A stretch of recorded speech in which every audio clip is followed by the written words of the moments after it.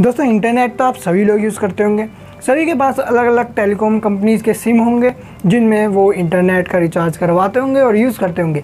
लेकिन इन सभी कंपनीज़ में जो एक बात कॉमन है, वो है इनकी पैक्स की वैलिडिटी अब जब भी आप पैक रिचार्ज करवाने जाते होंगे तो आप देखते होंगे कि कंपनीज़ कहती हैं कि ये एक महीने का पैक है, लेकिन उसमें जो वैलिडिटी होती है, वो केवल 28 दिन की होती है।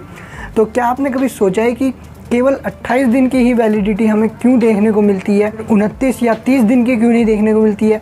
या अगर हमारा महीना 30 दिन का है तो हमें 30 दिन की वैलिडिटी क्यों नहीं देती हैं ये कंपनीज़ या 31 दिन का महीना है तो 31 दिन की वैलिडिटी क्यों नहीं देती हैं?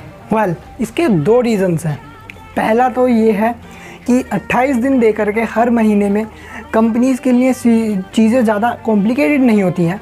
अब सभी को पता है कि किसी महीने में 30 दिन होते हैं तो किसी महीने में 31 दिन होते हैं और फरवरी जैसा महीना, उसमें 28 या फिर उनतीस दिन होते हैं।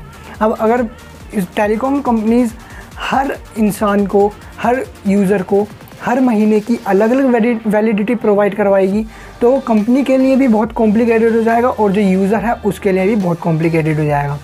तो इसलिए उन्होंने सिर्फ़ फरवरी का ही 28 दिन उठाए और उसे सभी महीने में लागू कर दिया कि 28 दिन की ही वैलिडिटी आपको देखने को मिलेगी। जिससे कंपनीज़ के लिए भी चीज़ें काफ़ी सीधी सादी हो गई, ज़्यादा कॉम्प्लिकेटेड नहीं हुई और हमारे लिए भी काफ़ी सीधी सादी हो गई चीज़ें। और जो दूसरा रीज़न है, वो है कमाई। अब 28 दिन दे करके हर महीने में कंपनीज़ की ज़्यादा कमाई होती है, बताता हूँ कैसे। आप सभी को पता है कि एक साल में 12 महीने होते हैं, जिनमें से छः महीने इकतीस दिन के होते हैं एक महीना अट्ठाईस दिन का होता है, जो कि फरवरी है, और बाकी के जो पाँच महीने बचते हैं, वो तीस दिन के होते हैं। अब हर महीने अट्ठाईस दिन की वैलिडिटी देने की वजह से कंपनीज़ को इकतीस दिन वाले महीने में से तीन दिन और तीस दिन वाले महीने में से दो दिन एक्स्ट्रा मिल जाते हैं, और जब मैं इन बचे हुए दिनों को सम करता हूँ तो मेरे को जो आंसर मिलेगा, वो है अट्ठाईस दिन।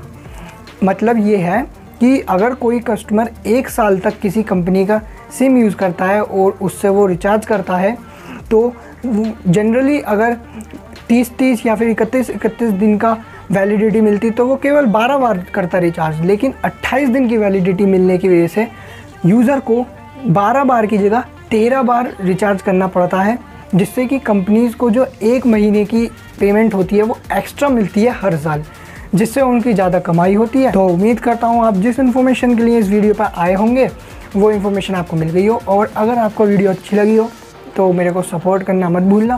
चैनल को सब्सक्राइब करना भी मत भूलना। बाकी मैं मिलता हूँ आपसे अगली वीडियो में। तब तक के लिए बाय